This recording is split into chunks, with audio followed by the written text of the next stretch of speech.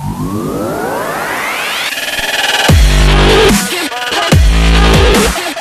guys, Stetson Blaylock here. I'm in the Livingston booth at ICAST 2015.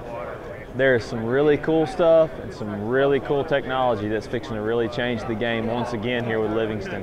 This is the new Livingston, Team Livingston Viper swim bait. This swim bait is actually equipped with Bluetooth technology where you can actually change the sounds of this bait with your, with your smartphone.